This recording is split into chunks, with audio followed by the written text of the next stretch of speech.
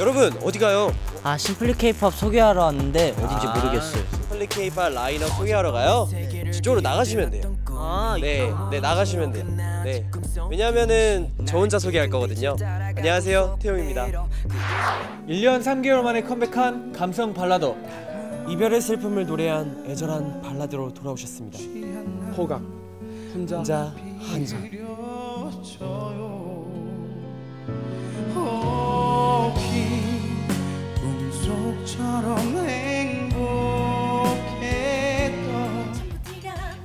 어딜 가나 시선을 사로잡는 그녀들 통통 튀는 매력이 넘치는 소나무 선배님들 나 너 좋아해?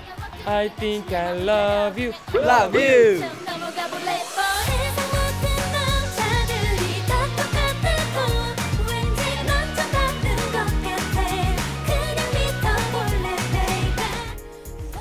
춤잘 추는 아이, 노래 잘하는 아이. 꿈을 이룬 아이가 부릅니다. 간절히 바라면 이루어질 거야.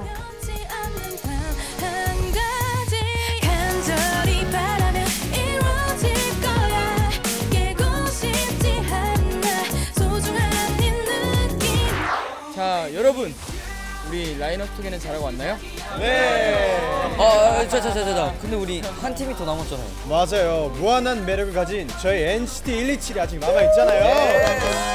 네 중독성 강한 NCT 127의 무한저가 무대가 궁금하시다면 이번 주 심플리 케이팝도 Don't miss out!